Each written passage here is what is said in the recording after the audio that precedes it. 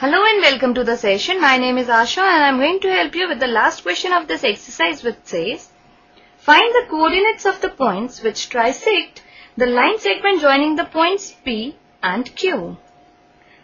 Now trisect means to divide the line segment into three equal parts. We have to find the points A and B such that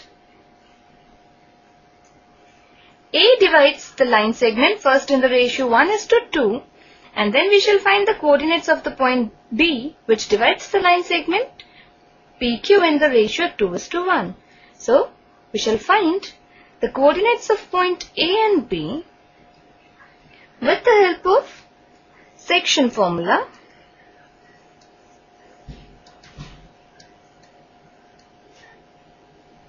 and this is our key idea.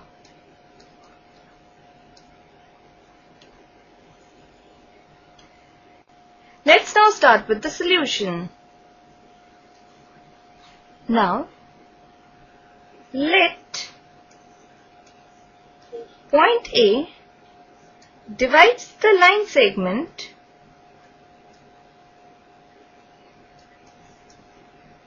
PQ in the ratio 1 is to 2. Then let the coordinates of AB, X, Y and Z. Then by the section formula,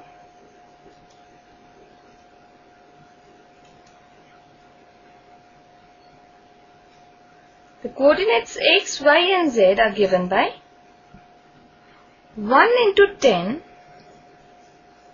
plus 2 into 4 upon 1 plus 2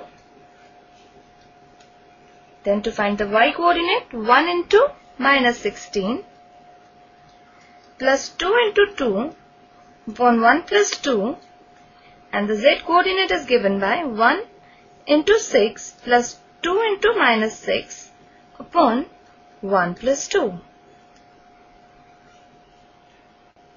or x, y and z are further equal to 6 minus 4 and minus 2. So the coordinates of point A are 6, minus 4 and minus 2. Now let us find the coordinates of point B and the coordinates P, x dash, y dash and z dash. Again by the section formula, x dash, y dash and z dash are given by 2 into 10 plus 1 into 4